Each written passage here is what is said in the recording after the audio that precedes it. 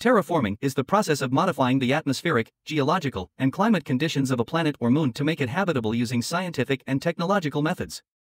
Terraforming proposals have been made for celestial bodies such as Mars, Venus, and Saturn's moon Titan. However, the feasibility and cost of these projects are still under debate. Mars terraforming involves steps such as increasing atmospheric pressure, releasing greenhouse gases, melting ice caps, and creating a plant cover. However, this project is believed to take years, even decades, and require astronomical costs. Venus terraforming, on the other hand, is a more challenging task. The surface temperature of Venus is high, and there is a high concentration of carbon dioxide in its atmosphere.